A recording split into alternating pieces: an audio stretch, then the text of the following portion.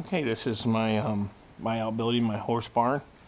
Um, and what I've done is I've rigged up some solar power. I'm going to show you how I did that. I'm using a small, if you look between the two slats, there's a solar panel there.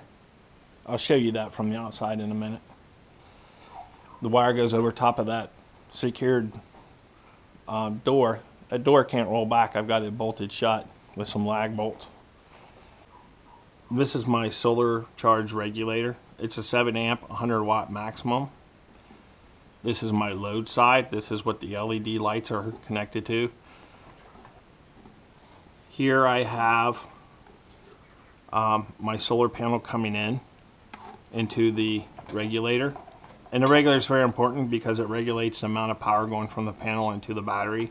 So you're not overcharging your um, deep cycle battery. This is the clamps coming from the regulator to the battery itself and this is what's actually charging the battery.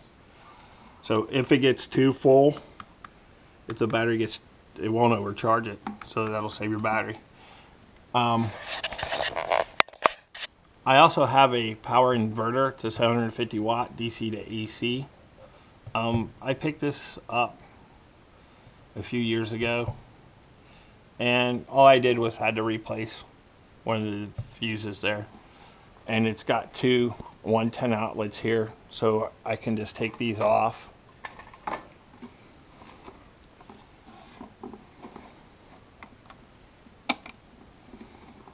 And you want to be careful with these.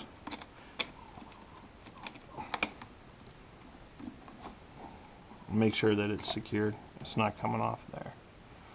Alright so let's try our inverter there.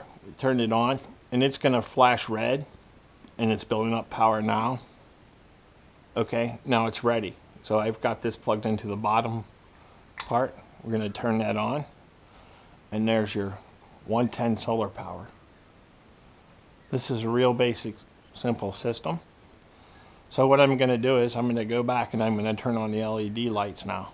I have a basic power switch hooked up to the LEDs if you look overhead, I have some tubing, that was left over from a job. Um, and you'll see the little bands on them, and they have those LED strip lights. And there you go.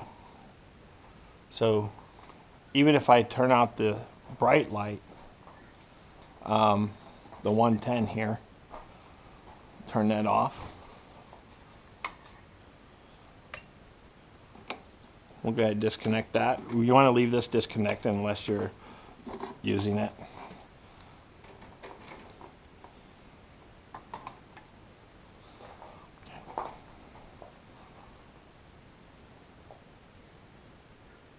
And this will provide us with plenty of light. Now these LEDs here will burn for about nine days straight on this one charge of the battery. So this is the LED strip lights I've used. Um, these are the weatherproof style. They have one power end on them. And there's videos on how to put more ends and you can cut this off about every third light there as you can see. See that little copper space right there? Every third light you can cut this and put splicers on there and rejoin these. $9 on Amazon.